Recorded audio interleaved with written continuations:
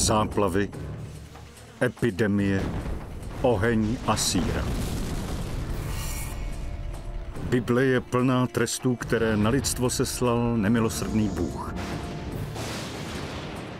Příběhy zkázy a smrti nemusí být zapsány pouze v historii lidstva, ale i v jeho budoucnosti.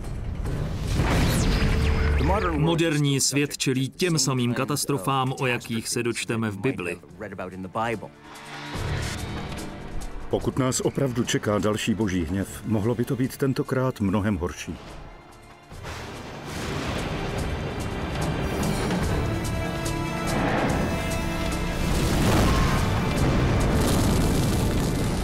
Film Export Home Video uvádí Boží hněv.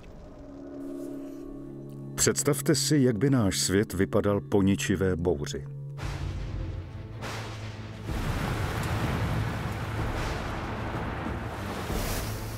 Při celosvětových záplavách by se mrakodrapy v New Yorku ocitly pod vodou.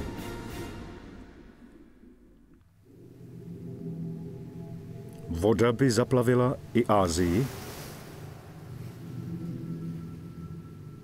a největší města Evropy.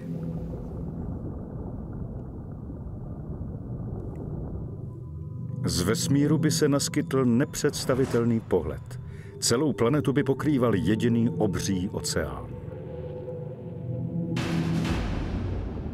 Opravdu nás v budoucnu čeká potopa světa?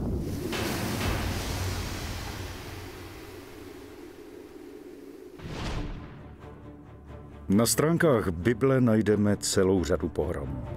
Když je proskoumáme blíž, objevíme mnoho skutečných přírodních katastrof, které mohly inspirovat biblické příběhy. Některá nebezpečí nám hrozí dodnes. Otázkou je zda, případně kdy k tomu znovu dojde.